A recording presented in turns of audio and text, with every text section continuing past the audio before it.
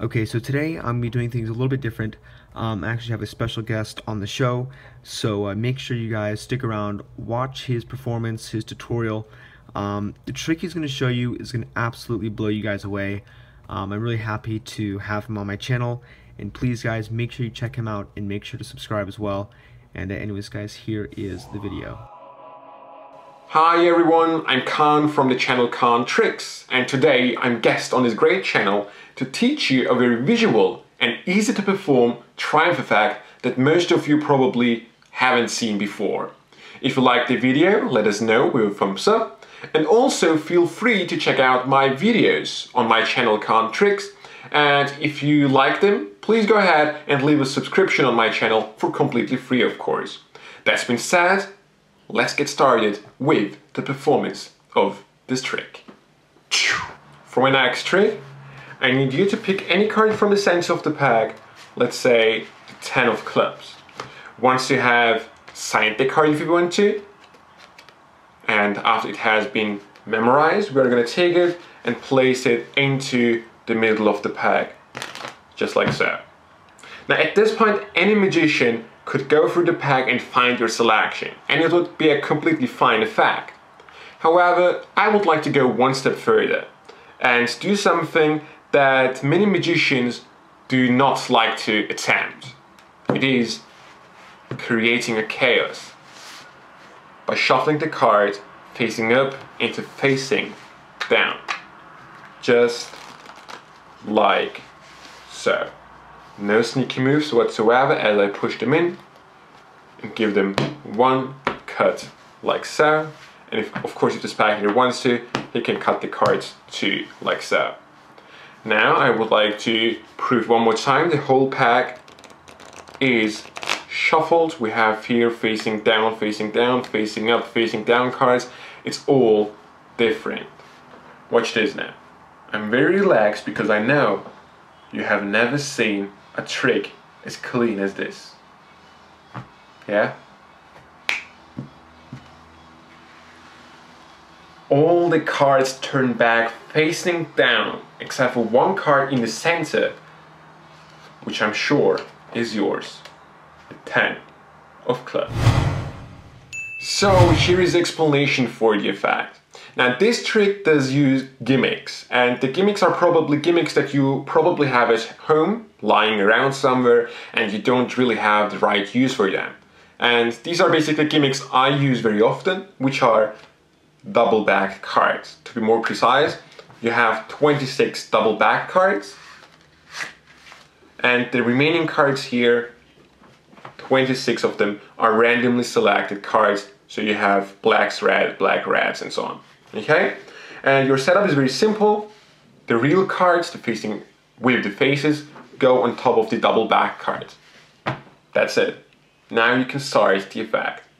Now to start off, you have the spectator select the card as you spread the pack very slowly so they select a card from the top half okay you don't want them to pick a double back card okay so spread them very slowly as they touch one card let's say this one the nine of spades. You show it to the spectator, it can really be signed by the spectators, and once the spectator has done so, you are gonna lose it in the bottom half of the pack, meaning you want to lose the card amongst these facing down ones, okay? Amongst the double-backed cards, okay? And once you're in this position, you start, you start with your story. You say that you're not a usual magician, and as you're saying so, you are going to lift up at the natural break here, separating the real cards from the double backed cards, and say that you would like to shuffle the cards facing down into facing up. As you're saying this, you turn around the real pack, spread them to show it's really facing down into facing up, and give them a shuffle, okay? Notice I like to shuffle the facing up ones into the facing down ones, so there is one facing down card on top. Okay? Show one last time, they really go into each other, and square them up. Okay? Now from this side, the pack looks very shuffled. When you turn it around, however, all the cards are facing down as you can see, except for one card in the middle that is their selection. Of course, you don't want to reveal that very quickly, okay? At this point, now, of course, you could spread the pack to show they are really cards facing up, facing down, facing down, facing down, facing up, like so. So they are shuffled. However, I believe this is too clean, okay? And especially when I perform to magicians, the display I like to show is this, by riffling the cards, okay? So when you do this, they think that the secret is right here, okay? Riffling the cards. So there might be some sleight of hand going on. Because if you just do this, in my opinion, it is too clean, so the spectator might figure out what is going on. Okay, you just want to keep the attention here while riffling the cards. Once you have done so, you can lift up at the cards, show there are double back, like face back to back cards, face backs, okay, facing up, facing down. And then, as you're showing this, turn around the pack. That's a secret move, which you do very openly. And then show one more time, facing up, facing up, facing down, facing up, and set them on the table. Even though you just revealed their card already, the Nine of Spades. Does not matter. Now you stay here, very calm as in my performance and say, watch this.